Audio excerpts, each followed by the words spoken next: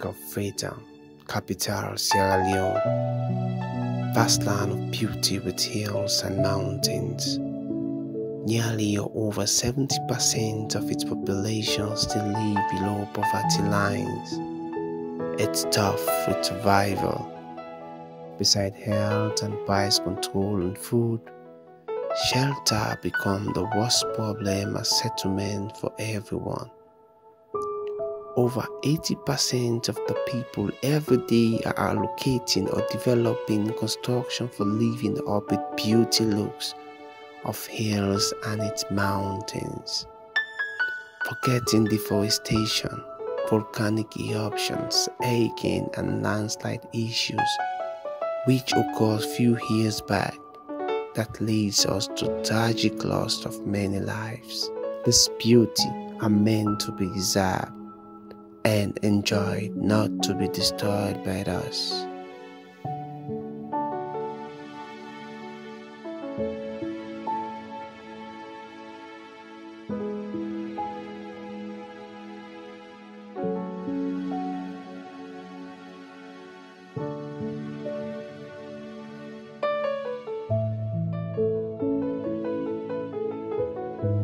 Not about choice for live up here. I will come with people that afford the money for parentage done at the city. The worst thing for live up here are during the rainy season. We can get too many challenges then, like for health, food, and boku other things there. I think there is a choice rather than the opinion to cut down the trees of the hills and mountains for housing, construction, and living. What if while we are constructing this housing up there at the same time creating destruction for our future generation behind us? Here not only choice of folk, but very hard labor for survive. Pilot me became for feed and educate. It means say I therefore go the extra mile to take care of them. Make the really feel like me own. For Brookstone, me work long time ago before I come to the city. I can't find myself up here. Me I be blacksmith. And you know, work like that and make out enough for me to take care of the responsibility. Every day, you know what I mean? For finding yourself around the situation, you get no choice but not for fena. Challenges, problem, less opportunity, poverty, and struggle. You get for do your best as possible for life. And of course, this kind of work is not even good for the environment we live. As you see, all the ill parts here, na so dem be but the main city don tight, and we get for comot we wey dey comot blind king just dey tap here and dey manage the brush and sell am people get money.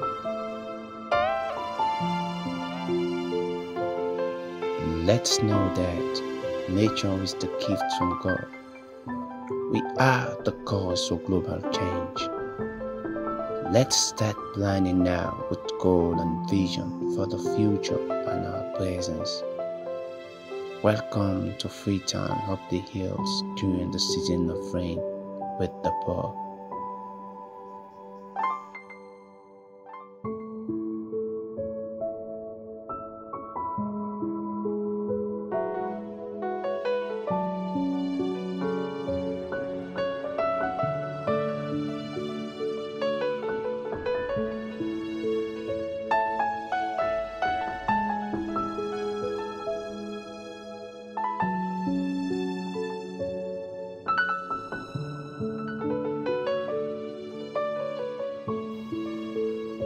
Starvation, high pricing on food always at this crucial time around, sickness, high death rate, less movement for people to do their daily day-to-day business work. If you are among the poor, expect the worst during this time of the year.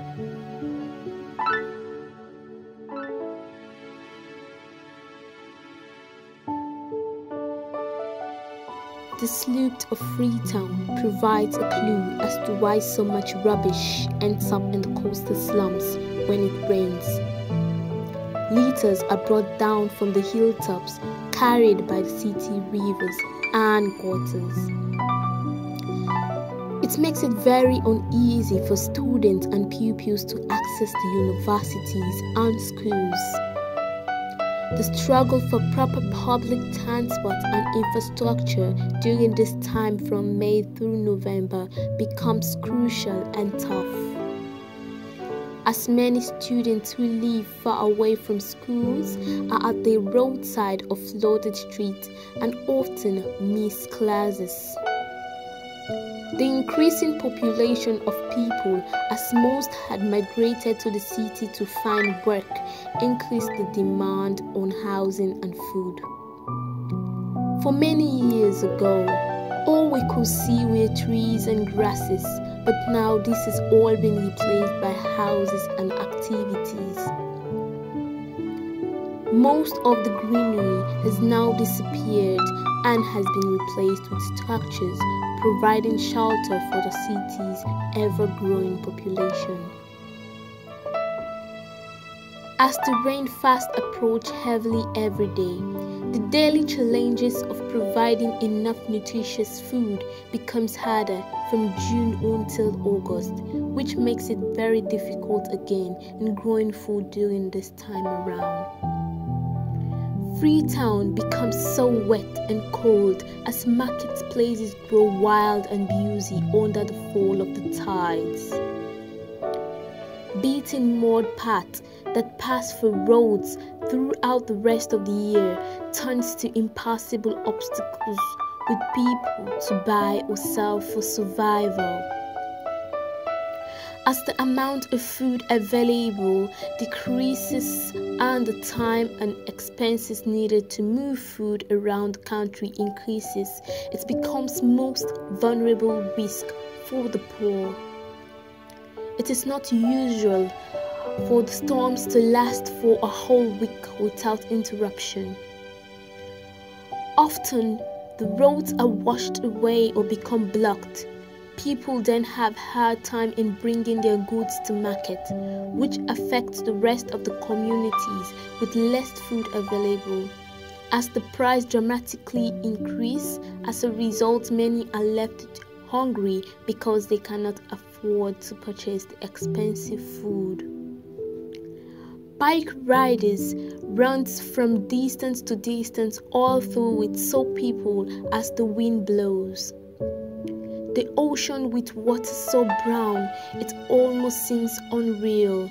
Contaminated water is washed into open drinking water wells and rivers by means of fierce towing along this running river located near side of these communities. According to a local clinic, malaria, diarrhea and cholera are the most common health complaints which lead to malnutrition, sickness, and death cases all around. The river is littered with garbage, which is indiscriminately disposed by the residents. The natural flow of water becomes disrupted by this time. These riverbeds becomes a breeding ground for mosquitoes during the time of dry season because it has been turned into a dumping ground during the raining season. The coating of rubbish is around 3 to 5 feet deep, beneath which lies sand. With such poor foundations, houses are often unstable and vulnerable to that there can be changes to stop the deterioration of the environment. Environment degradation has resulted in communities across Sierra Leone experiencing adverse climate conditions, floods, and landslides. We should be empowered and given the space to connect with our peers and raise our voices and speak against the action that fuel climate change and its devastating effect on us. When you're old, it's good to look back and say you were part of the generation that helped address climate change. We should plan on studying environmental law in universities so we will be better equipped to help protect the environment. Laws should be instituted to discourage harmful practices such as tree coating and coal production, and alternative sources of livelihood should be provided, especially for these coal producers. I think together as citizens, these will go a long way in addressing climate change issues in Sierra Leone and reducing its potential impact on agricultural production, water resources, and human health and disasters.